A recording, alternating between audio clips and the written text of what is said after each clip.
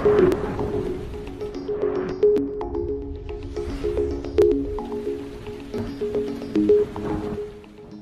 ္ဂလာပါရှင်မိုးလေဝသနဲ့ဇလာဗေဒညွှန်ကြားမှုဦးစီးဌာနကနေအောက်တိုဘာလ16ရက်ဒီကနေ့နက်နက်9:00နာရီချိန်ထုတ်ပြန်လိုက်တဲ့သတင်းကိုကြေညာပါမယ်ရှင်။ဘင်္ဂလားပင်လယ်အရှေ့မြောက်ပိုင်းနဲ့အရှေ့အလယ်ပိုင်းတို့တွင်တိမ်နေငယ်ဖြစ်ထွန်းနေပါတယ်။ကပလီပင်လယ်ပြင်နဲ့ကျန်မင်္ဂလာပင်လယ်အော်တိုတွင်မုတ်တုံလေးအားနေနေပါတယ်။ ဒီကနေ့ညနေဒီခံမှတ်ချက်ကတော့တနင်္သာရီတိုင်းဒေသကြီးနဲ့မွန်ပြည်နယ်တို့တွင်နေရာအနှံ့အပြားကရင်ပြည်နယ်တွင်နေရာစိတ်စိတ်ရှမ်းပြည်နယ်ရှေ့ပိုင်းနဲ့ကယားပြည်နယ်တို့တွင်နေရာကျကျ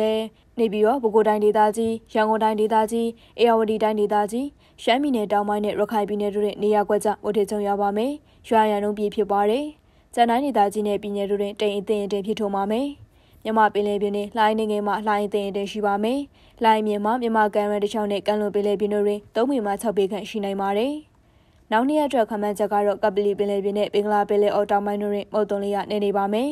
။နေပြည်တော်နဲ့နီဒွိုင်အတွက်ဒီကနေ့ညနေဒီခန့်မှန်းချက်ကတော့နေရာကွက်ကြားမှုထစ်ချုံရပါမယ်။ရွာရန်နှုန်း60ဖြစ်ပါတယ်။ရန်ကုန်မြို့နယ်နီဒွိုင်အတွက်ဒီကနေ့ညနေဒီခန့်မှန်းချက်ကတော့နေရာကွက်ကြားမှုထစ်ချုံရပါမယ်။ရွာရန်နှုန်း80ဖြစ်ပါတယ်။ မန္တလေးမြို့နယ်အနီးတစ်ဝိုက်အတွက်ဒီကနေ့ညနေထိခန့်မှန်းချက်ကတော့တိမ်အထင်အထည်ဖြစ်ထွန်းပါမယ်ရှင်။